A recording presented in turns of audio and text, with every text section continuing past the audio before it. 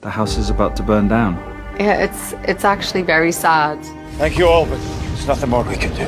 The big house fire is something we've been aiming for for really a, quite a long time, but it will take us two nights to shoot it because we only have about five hours a night of actual darkness here in Scotland in May. In an ideal world with stunts and special effects and everything that goes on, we'd spend more time. But, you know, I think what's great about the show is the cast and the crew always pulls together. We've got a lot to get in that period of time, and so we've been working a lot in prep on storyboarding, planning every beat of the scene, not just of the fire, but the kind of uh, character journeys that they're going through as their house is burning. It was kind of sad actually seeing this Yeah. property burnt down. That you know we spent a long time there, and it's such a beautiful location. Yeah, I mean, it does feel like, you know, we're saying goodbye to a few of our sets. It is actually a beautiful sequence. It looks really cool. We were burning a lot of what is Claire's surgery. We're going to have practical fire coming out of the windows. We'll have VFX fire to add to it. It's a lot of departments really planning very thoroughly to pull something like this off. The way they did it was really amazing. We had a big fire engine. It's taken us two weeks to install all the fires. Uh, we've had numerous safety checks with fire departments. We did a LiDAR scan of the whole building. Then we, we can break it up. So if we want the roof collapsing or a shutters falling off, we use the CG model to do that. Special effects, flames on the bottom floor. And then we would enhance with visual effects, CGI flames on top.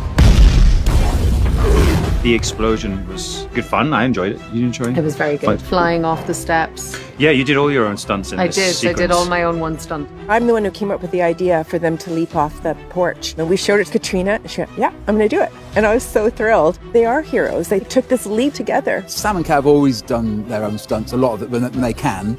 You always think you make it as comfortable for them as possible, but making sure it looks good. And they did a fantastic job, and they loved it so much that they wanted to go again. But you actually did another stunt in this.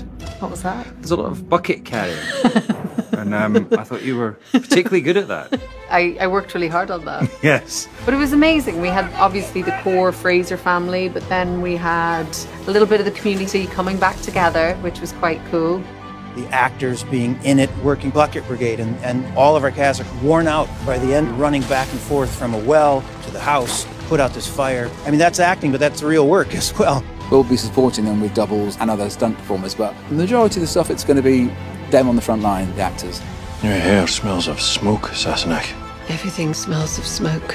So we've got to burn it and make sure that we've got absolutely nothing left for this house. And then we've got to take the house down and build the fire aftermath set. Who would have thought a house full of candles and ether would eventually get burnt down? It's strange. Isn't Um, I know.